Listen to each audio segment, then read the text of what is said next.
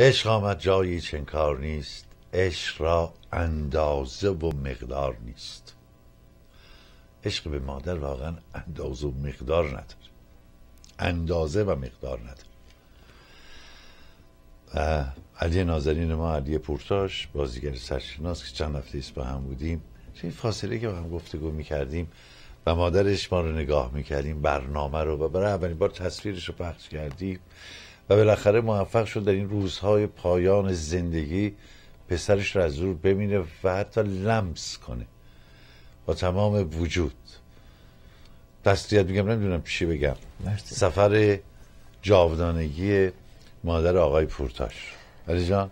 شما محبت داری تسلیت میگم. مرسی عزیزم. شما همچه محبت چی بگم. داشتید غم آخره. خیلی ممنون و نه درست میگه این تو این مدت آخری که بود خونه خواهرم بود. دیگه کهولت و مریضی. ولی خب برنامه ها رو از قرار می‌دید و همین خیلی خوبه که لااقل لااقل که دور بودیم لااقل می‌تونست ما رو ببینه از تلویزیون خیلی مهمه. خیلی مهمه. سفریه که برای همه بله. بله. مادر و part of life بخش از زندگی. زندگیه. مادر- مرگ نیست. انرژی که با ماست. یعنی دقیقا درست. قسمتی از ماست. نه فقط فکراً روحاً جسماً. وقتی از دستش میدیم انگار نصف خودمون رو از دست دادیم. آدم گیج میشه. من اصلا نمی‌دونم چجوری. فکر کنم. آره. هر حال خیلی ممنون. میگه خب بشر چون نمی‌دونست که اون سوی زندگی چه خبره اسمش گذاشت مرگ. تو چی نمی‌دونستی؟ ولی واقعیت اینه نه. واقعیت این نیست. ما اصلا نمی‌دونیم. این جز از اون رازهاست دیگه. کسی برنگشته از اون سفر. حال خب. می‌دونیم که جاودانه است و تو روح ما مغز ما همیشه هستن این دقیقا خب علی عزیزم می‌دونم در شرایط ناگواری اما چاره چیست برنامه رو شروع کردیم. علی هم چهره علی پورتاش عزیز چهره حرفه‌ای. ولی بحث‌های جالبی بحث‌های داشتیم. جالبی داشتیم. آخه بحثی که داشتیم با علی پورتاش نه به عنوان بازیگر به عنوان معلم آموزگار. یه معلم آموزگاری که سابقه طولانی داره و سالها در مدارس آمریکا خدمت کرده با بچه ها سر و کله زدی. گاه در محلات بسیار فروده است و محروم که هیچ کس حاضر نیست اونجا بره. اما جالب اینه که او از این تجربه خیلی راضی و خرسند برگشته. خبرهای خوب به ما میده. مخصوصا وقتی در محلات محرومی بوده که در اونجا اغلب ساکنینش و تقریبا همگی ساکنینش همگی شاگردانی که در اون مدرسه بودن رنگین سیاه پوست بودن. و خب من تصور می‌کردم که با توجه به گزارش هایی که پیش از این خونده بودم از این و اون مخصوصا از ناحیه معلم ها شنیدم که, ما- که آموزگاران در این مدارس کارشون چندان ساده نیست. دائما با خطر و تهدید روبرو هستن. ولی علی پورتاش میگه اصلا چنین نیست. از همه چیز برمیگرده به دل انسان. رابطه معلم آموزگار با شاگردانش که علی خوشبختانه در این زمینه موفق بوده. به نظر من وقتی که کسی قبول می‌کنه که شغل معلمی رو بپذیره و معلم بشه باید مثل معلم های گذشته قدیم فکر کنه که پول مطرح نیست چون پولی واقعا نداره که. حقوقی به اون صورت نداره. نداره. باید قبول بکنه که اومده یک زندگی رو لمس کنه به, به یک نفر یک امید بده. به این بچه هایی که بخصوص اگه اون بچه ها بچه هایی باشن که از خانواده میان که امیدی ندارن. وقتی که معلم وارد کلاس میشه اون روح خوب مثبتش رو میاره توی کلاس. هر چقدر اون بچه ها حالا چه elementary سکول باشه چه دبستان باشه چه دبیرستان هر چقدرم متاسفانه یاقی باشن وقتی اون روح از در وارد شده یواش یواش بچه ها با اون روح راه میان. ولی اگر اون معلم نگاتیو وارد بشه منفی وارد بشه عصبانی ناکار در مقابل. اون همونه دیگه همون میشه. همون میشه پس باید فرشته بیایی تو که فرشته تربیت آفرین آفرین. خانم شما همین بود ها؟ خانم من رفتارش. اه، روانشناس بچه-. امروز یه بحث جالبی خواهیم داشت با آقای پورتاش درباره مواد مخدر در مدارس آمریکا. اسلحه در مدارس آمریکا که بار گذشته درباره صحبت کردیم. علی عزیز معتقده که قانون اساسی رو باید این چهار دیواری قانون اساسی رو تو آمریکا حفظ کرد.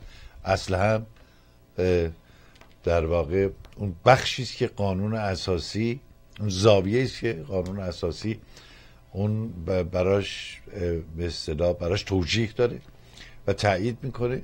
در نتیجه دستکاری ساختار موجود در آمریکا ممکن خیلی خطرناک باشه. چون سو استفاده میشه آمریکا موجودات جالبی هم. این آقای جیمز میشنر که می‌شناسید بله. نویسنده و متفکر سرشناس که کتاب های زیادی هم نوشته. تگزاسی هم و, هست تگ... و این خب یکی از منتقدین سیستم و نظام بوده در آمریکا. همه بهش گفتن آقا تو که اینقدر انتقاد می‌کنی می‌بره توی دستگاه دولت و تغییرات رو از درون ایجاد بکن.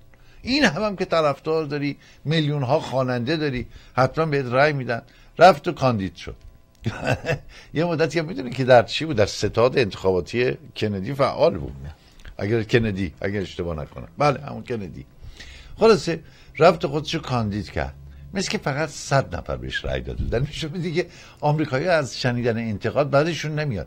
اما از یک کسی که بخواد سیستمشون رو دستکاری بکنه خیلی نگران میشن و احساس عدم امنیت می‌کنن. ببین خود من که آمریکا به دنیا نیومدم بزرگ شدم بچه جنوب شهر تهران هستم مثلا ربطی به امریکا نداشتم. فقط آرزومون بوده که روز بیام اینجا درس بخونم.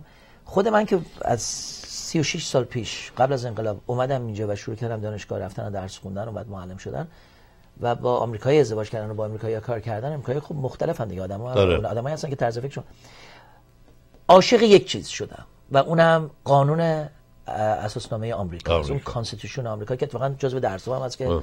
تدریس می‌کنم ببینید بیشتر از 250 ساله که نوشته شده و کار کرده. حالا اگر جواب داده. جواب داده. الان کدوم کشوری رو پیدا می‌کنه که 250 سال قانونشون مسئله نداشته باشن؟ تنها مسئله ای که اینجا هست اون مسئله اصله هست. خب حالا الان دیگه 250 سال این اجازه رو داده که این اسلحه رو داشته باشن. اگر از اول اجازه نداده بود یه امر دیگه است. ولی حالا چون 250 سال اجازه داده و اون دفعه هم که شما ریسرچ کرده بودین گفتین که 400 میلیون. با وجود اسلحه داریم شما. دقیقاً با وجود اینکه بالای بیشتر. 300 از جمعیت بیشتر دقیق با وجود که بیشتر از 300 میلیون ما داریم ولی نزدیک 400 میلیون اسلحه هست. پس نمی‌تونیم برگردیم بگیم بیایم این قانون رو ببندیم. قانون اساسی که وحی منزل که نیستش. قانون ساخته دست بشر رو می‌تونه به تناسب وضعیت و شرایط روزگار رو تغییر بده. می‌خوام ببینم که خانم شما که روانشناسند و در فرهنگ در آموزش پرورش هم خیلی فعال.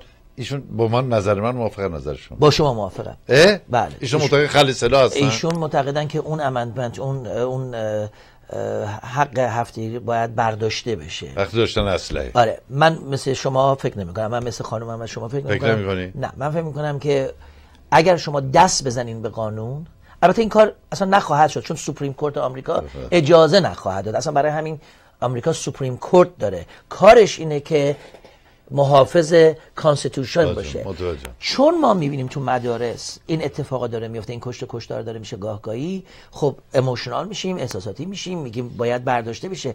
ولی واقعیتش اینجاست که اولا شما نمی‌تونید 400 تا 400 میلیون اسلحه رو یه جمع کنید. اصلا نمیشه.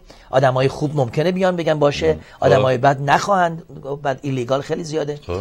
بعد دست بردن به Constitution من اون چیزی رو میگم که Supreme Court آمریکا داره میگه.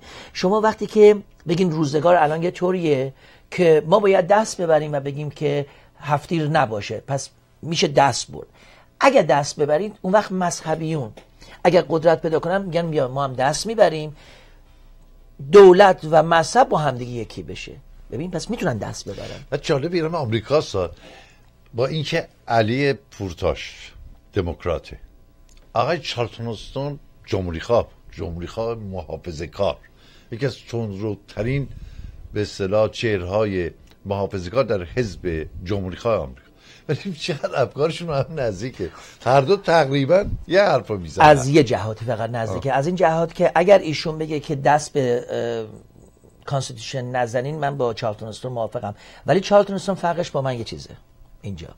لابیایی که خیلی powerful هستن خیلی قدرت دارن به افرادی مثل چارلتون هستون که البته خدا بیامرزش دیگه بله،. بله، ولی به بله. افراد مشهوری مثل چارلتون هستون پول میدن که برن انقدر مواظب این جریان باشن که دیگه شورش در میاد و کارخونه های اسلحه سازی از اون چیزی که قرار بوده درست کنه و protect بکنه دیگه به اندازه مسلسل و بازوکا و اصلا یه چیزای عجیب غریب رسیده چارلتون اگر اونا رو protect کرده من باش مخالفم. مخالف. آره. خب اما برسیم به این که در ایالات متحده آمریکا در این یواش یواش این استفاده از یکی از ماده های مخ... مخدر میشه. گفت یا مکیف مکیف لغت درست است چون تصور نمی کنم که علف یا گراز جزو یا ماریجوانا. قبلا بوده. الان تو کالیفرنیا به اونجوری دارن نگاه می‌کنن که غیر قانونیه غیر ولی داره قانونی میشه به ترتیب. توی کالورادو شده. در کالورادو شده. شده و احتمال داره که به طور آزمایشی شده و جای دیگه هم آزاد بشه. کالیفرنیا که خیلی دلش می‌خواد بله. بشه و واشنگتن مثل اینکه داره یواش یواش میشه. خب راجع به مواد مخدر در یا مواد محرک سه نوع ماده داریم. که محرک مخی محرک مخدر و مکیف. سه نوع ماده داره خب به من بف... که توهمزا هستن. یکی از اونها یعنی محرکینش مثل همین الستیو از این قبل. به من بفرمایید وضعیت مواد مخدر در مدارس وقتی شما تدریس می‌کنید. ببینید و جایی که تدریس می‌کنید. خب چون الان کشوری مثل مکزیک یک چیز نظر می‌خوام. یک چیز بسیار خطرناکی شده مکزیک به خاطر خب. مواد مخدری که وارد یواشکی وارد می‌کنه و به خاطر جنایت های سر این قضیه میشه به خاطر پولایی که داده میشه. رقمش هم می‌دونی چقدره؟ خیلیه. سی میلیارد دلار. خیلیه آره. سی میلیارد دلار که 20 میلیاردش میشه اسلحه 10 میلیاردش دریافتی نقد قاچاقچی هاست. بله. برای همین خب ما باید بترسیم که این مواد مخدر که داره میاد و بچه های ما رو نه فقط آلوده می‌کنه ترسمون بیشتر از اینه که درگیر این گنگ بازی های به فروش, فروش این دراگا بشه. حالا اومدن نگاه کردن به یه مواد و اونم علفه. خب. ماریجوان ماریجوان است. آمریکا ما داریم نگاه می‌کنه کالورادو اومده نگاه می‌کنه همه دارن نگاه می‌کنن متوجه شدن که یه حسنی که این علف داره می‌تونه کمک کنه به بعضی از مریضی ها این حسن رو پیدا کردن. research شده علمی متوجه شدن که می‌تونه پس کمک کنه. حالا که می‌تونه کمک کنه پس چرا ما باید دنبال دردسر این gang ا باشیم دنبال دردسر قاچاقچی ها باشیم؟ نگرانی نه فقط آلوده شدن بچه‌هامون به علف بلکه آلوده شدن یا کشته شدن در در این راه. و حتی قاچاق بچه ها قاچاقچی میشن بعض وقتا. تو دبستان داریم تو آره می‌خوام پول در بیارن. خیلی راحت می‌تونن پول خود شما برخوردی داشتید با بچه‌ای که من با بچهای دبستان برخورد نداشتم ولی با بچهای دبیرستان داشتم. آره. که خودشون هم میان میفروشن. یعنی فروشنده میشن خب برای اینکه اینو قطع کنن خب. اومدن گفتن که خب این که داره کمک می‌کنه لحاظ بیماری. به کمک درمون داره می‌کنه. پس بیایم لیگالش می‌کنیم قانونش بکنیم که اون مسائل چیز هم نداشته باشه. قاچاق و یعنی آرزهاشو نداشته باشه. دیگه اونا رو نداشته باشه. از این نظر خب خوبه. از این نظر یعنی شما موافق من موافقم. من رأی میدی. من رأی میدم که علف نه کوکین نه تریاکینا ولی علف آزاد, آزاد. بشه که دردسرش کمتر بشه دیگه اصلا نداشته باشه. منتها من یه اشکال دارم. البته با خانم هم صحبت می‌کردم. خانم هم خانم شما چی گفت خانم من معتقده که همه جا باید لیگال سراسری. آره در صورتی که آزاد بشه. در صورتی که نه من استفاده می‌کنم نه, نه خانم هم استفاده می‌کنه نه علاقه داریم که کسی استفاده کنه بچه‌م استفاده کنه. ولی قبول کردیم که لحاظ علمی می‌تونه کمک کنه بعضیا رو و خب. باید آزاد بشه. و لحاظ دردسری هم که مسئله قاچاق نداشته باشه. مونتا من تنها ایرادی که می‌گیرم که هر چیزی بالاخره یه حسنایی داره یه بکلش هم داره دیگه اشکال هم داره. بچه های مدرسه است. ما, ما من خانم معتقدیم که درست مثل همون قانونی که برای الکل برای مشروب. مشروبات الکلی. آره من ببخشید فارسی من یه خورده سفید داره چون من مشروبات الکلی. با, با انگلیسی خیلی راحت‌تر می‌تونستم. مشروبات الکلی. مشروب همون قانونی که برای مشروبات الکلی درست کردن. در مورد مواد هم بکنن در مورد مواد علف هم بکنن تنها اشکال اینجاست که چون 21 سال به پایین نباید بخرن حق ندارن بخرن. از 18 از 21 درست مثل الکله مثل درست مثل الکل تو کالورادو رو دارم میگم. اینجا که هنوز اینجا هنوز غیر قانونیه. یعنی اگه تو جیب من شما پیدا بکنن جرم داره. ولی تو جالبه تو همون کشوری ولی خب کالورادو مثلا اشکال اینجاست که آقای میبودی. حالا که مثل الکل داریم بهش نگاه می‌کنیم بچه های مدرسه که خیلی کمتر expose شده بودن به این مواد مخد... به مواد علف الان چون تو کالورادو نگاه می‌کنن می‌بینن خب آزاده دیگه. صحبت که مثلا من 16 سالمه 14 سالمه. اگر آزاده برادر بزرگم داره می‌کشه همه دارن راحت می‌کشن هیچ مسئله ای نیست. پس منم برم بکشم دیگه. من فکر نمی کنم برای اونا جالب باشه. برای اینکه اون وقت اونا متوجه نیستن بچه دیگه موقع رانندگی درس خوندنشون چی میشه اینجا؟ بعضیا میگن نه اگه بکشی درس رو بهتر می‌خونی. من فکر نمی‌کنم. من می‌کنم وقتی می‌کشی یک علائم بدی که به نظر من علف داره شما رو انقدر کامفورتبل می‌کنه شما رو انقدر ریلکس می‌کنه در حدی می‌رسه که بی مسئولیت هم می‌تونه بکنتت و بچه ها باید مسئولیت سرشون بشه به خصوص در مورد کار به خصوص در مورد درس به خصوص در مورد احترام. اگر دیگه زیادی بخوان علفه رو بکشن اون مسئولیت هم مگه اینکه آدم مسئولی بکشه. خب بالاخره شما موافقی یا مخالفی؟ من نه من موافقم من موافقم ولی دارم می‌خوام بگم پیش بینی هم دارم مشروطی؟ من موافق من موافقم که 21 به بالا بفروشن. اشکالی نداره. بخرن بکش. آره ولی دارم میگم چون موافق هستم دلیل برای نمیشه که everything is good and dandy it's not. برای اینکه همه چی اون وقت میگم بچه های مدارس چی میشن؟ بچه های مدارس خواهند یواشکی خرید خواهند کشید و چون اون مسئولیت رو هنوز یاد نگرفتن بی مسئول خواهند کشید و درس و احترام و یک نوع آیدون که آردی که می‌دونین که تینیجرها یه عادت خیلی بدی که دارن. حالا من تو ایران و بقیه کشورها نمی‌دونم ولی تو اینجا یه teenager ها یه عادتی دارن میگن I don't care. اینا I don't care رو دارن. حالا تصورشون بکنین که علف هم دیگه بخوام بکشن. دیگه relax relax ن دیگه they don't care یه بخش از جمعیت در آمریکا خب اسپانیول اسپانیولن لاتینن به اصطلاح. بخش خیلی خیلی هم فعال خیلی هم مهمن در در وضعیت اقتصادی این مملکت. الان حدود 20 میلیون به اصطلاح مهاجر غیر قانونی داریم که توی مملکت زندگی می‌کنن دولت آمریکا می‌خواد یه جوری به اینها صورت رسمی به قانونی بده. حتی حاضر گذشت هایی داشته باشه ولی حساب می‌کنن که اگر اینا رو بکنن شهروند آمریکا بهشون با به اصطلاح حق شهروندی بدن اینا هر کدام پنج نفر رو با خودشون وارد آمریکا کنن میشه 100 میلیون نفر. یه بارگی در یک شبه جمعیت آمریکا میشه 100 میلیون نفر. چون کسی که شهروند میشه بلافاصله این حق رو پیدا می‌کنه که افراد خانواده و فامیلش رو با خودش به آمریکا بیاره. در نتیجه موندن که چه کار کنن؟ دارن فعلا با این 20 میلیون نفر سر می‌کنن بدون که اقدامی هم علیه اونها صورت بدن. ولی در این حال دنبال راه حل هم هستن. می‌خوام ببینم که با توجه به اینکه بخشی از لاتین ها خب الان در مدارس بچه ها درس می‌خونن اینا چی جوریه رابطهشون آموزش پرورش. علل اصول خب بیشترشون که به حال اینجا به دنیا آمدن و شاید هم پدر مادرشون اینجا به دنیا آمدن اونایی که اینجا به دنیا نیومدن حالا خانواده فرار کرده یا اینجا خودشون به دنیا آمدن پدر مادر فرار که نه به حال خودشون رو غیر آورده اینور چون فرار نمی‌کنن از مکزیک بیان اگه بتونن برن به طور غیر قانونی وارد خب. ببینید این یک مسئله است که immigration داره اعصابش خورد میشه اصلا شکی درش خیلی اصلا ولی چون جزء constitution نیست این قانونیه که خود اینجا در آورده پس میشه دست زد یعنی.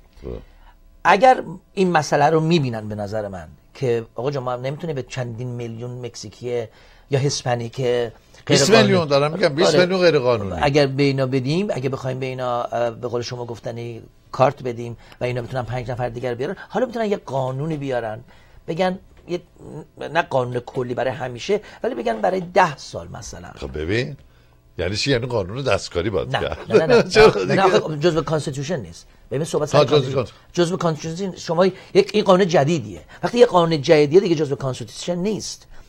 constitution ی که 250 سال پیش نوشتن اومد خب، قانون دیگه قانون زمینی انسان بحث کرده برای اینکه زندگیش رو آره ولی یه قانونیه که شما اگر دست آره ولی شما این قانون نگاه کنید. اگه خوب خوب مطالعه کنید قانون constitution رو می‌بینید 99 درصد حسن داره.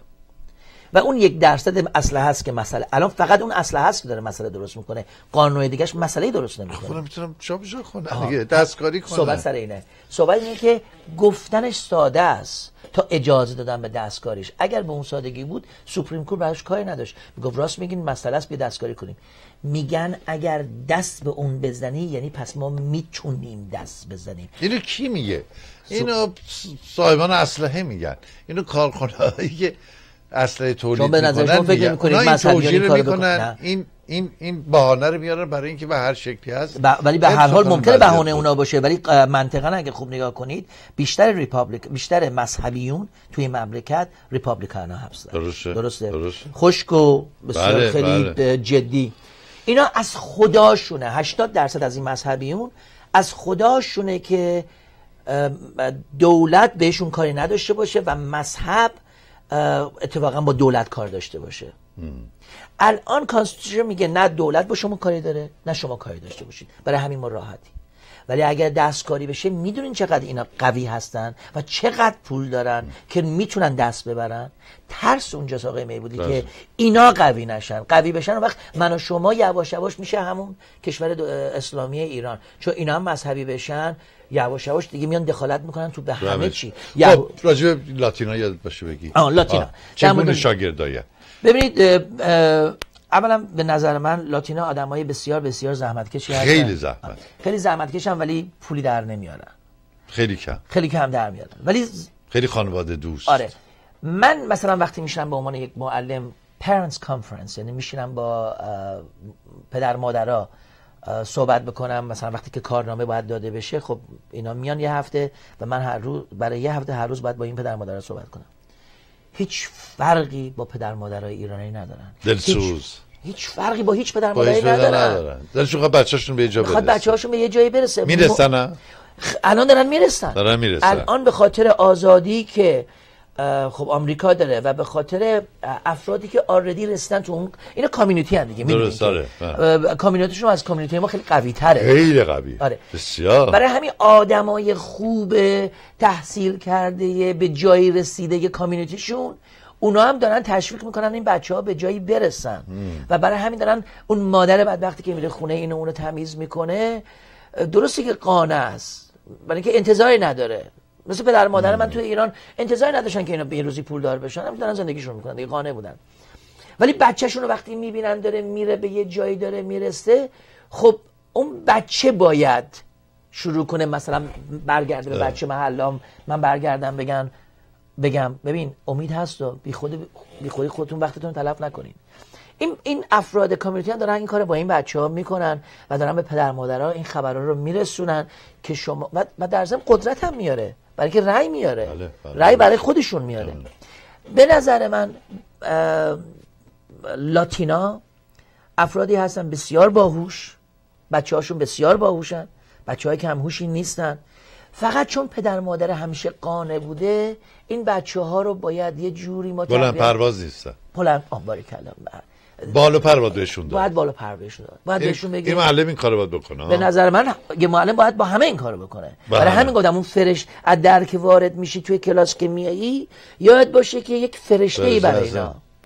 خب. و این بچه ها رو باید فرشته بار بیاری که بالا پر بگیرن برن و موفق بشن. داریم گفتگو می‌کنیم با آقای علی پورتاج عزیز. آقای پورتاج شما یک یکی از اعضای حزب دموکرات آمریکا هست همیشه به سود دموکرات ها رأی داد. می‌خوام ببینم که علل رسول قانون چی میگه؟ شما به عنوان معلم وقتی سر کلاس هستید می‌تونید راجع به حزب خودتون توصیه به بچه ها بکنید یا اینکه سعی بکنید یک جوری اونا رو علاقمند به حزب بکنید یا نسبت به یک کاندیدای خاصی که حزب معرفی کرده. می‌خوام ببینم مناسبات شما. خب ببینید یه وقتایی هست که شما یعنی اجازه رو دارید یا این کار غیر قانونیه وجدانن که به قضیه نگاه می‌کنیم وجدانن غلطه. برای اینکه شما دارین سو استفاده می‌کنید از طرز فکر خودت و داری این طرز فکر رو برمیداریم یه طرز فکر سیاسی خودت و داریم میاری این باید به نظر من اگر قراره راجع به تاریخی صحبت بشه یا راجع به سیاستی صحبت بشه به نظر من عدالت اینه که یک معلم هر دو رو وسط بکشه. کانز اند پروز بهش میگی یعنی یعنی موافق و مخالف هر دو رو. هر دو رو باید به یک نسبت مطرح کنیم. و بذاریم بچه ها و خودشون, تصمیم, خودشون بگیرن. تصمیم بگیرن. اگر از من بپرسن که چی هستی من میگم دموکرات هستم.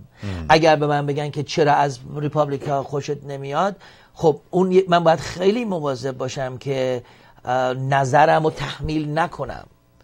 ولی باید انقدر عادل باشم به عنوان یک معلم که بگم در زم یه حسنایم ریپابلیک مثلا داره.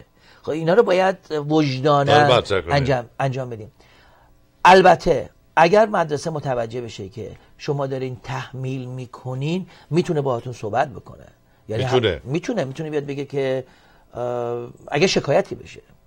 اگه فرض بگیم فرض بگیم فرض بگیم من خدا نشناسم ایتیس هستم. اصلا به خدا معتقد نیستم به عنوان یک آدم. حالا به عنوان یک معلم من می‌خوام بیام توی کلاس راجبش صحبت بکنم. خب اون بچه مسیحی یا مسلمون یا یهودی پدر مادرش حق داره بیاد بگه که چی داری به بچه من یاد میدی؟ حق داره. حق داره. آره منم حق دارم به عنوان یک پدر atheist. اگر بچه من توی کلاسه و اون داره راجع به مسیح و یهودی و مسلمون و بوداینا هی داره preach می‌کنه صدام در بیاد دارم میگم چرا داره آخه؟ این چی داره به بچه های من داره یاد میده؟ مگه بچه من قرار نبوده بیاد اینجا؟ بنابراین آموزش پرورش در آمریکا غیر مذهبی است. 100 درصد secular 100 درصد غیر یعنی مذهب اجازه دخالت کلیسا اجازه نداره که تبلیغ بکنه در مدارس. اصلا نداره. اصلا و ابدا. اصلا هیچ متن مذهبی هم نداریم که تو مدارس خوانده بشه. اصلا و ابدا دقیقا من یکی از دلایلی که راجع به مملکت خیلی دوست دارم اینه که یکشم اینه آره دقیقا. اصلا یه چیزی که راجع به امریکا دوست دارم اینه که مذهب اگه داری یا نداری به هیچ کس مربوط نیست. و نیار توی کلاس. نه به عنوان معلم نه به عنوان شاگرد نه به عنوان پدر مادر. اصلا نیار. یعنی مال خودته به کسی مربوط نیست. مگه اینکه بری دانشگاه درسشو بخوای بخونی مثلا درس مذهبی ها رو بخوای بخونی نه به عنوان الهیات بخونی الهیات بخونی ببینی اصلا تاریخ مذهب چیه. چیه؟ اون فرق می‌کنه. ولی به عنوان معلم من وجدانا حق ندارم بیام. و قانونا هم حق ندارم واقعا بیام. نه. ولی که پدر مادر حق داره. یه تجربه داشته تیم انتخابی آقای اوباما. وقتی ایشون می‌خواست قرار برای نخستین بار انتخاب بشند و به کاخ سفید برن فکر می‌کنم که با این طرز فکر که شما دارید شما قاعدتا باید مخالف این کار باشید. اینا آمدن حساب کردن روی زنان و مردان بازنشسته یهودی یعنی پدر بزرگها و مادر بزرگهایی که در فلوریدا زندگی می‌کنن. دادشون خیلی قابل توجه. گفتن که ما نمی‌تونیم پیر مردها و پیر زنها رو وادار بکنیم بیان پای صندوق های رای به اوباما رای بدن.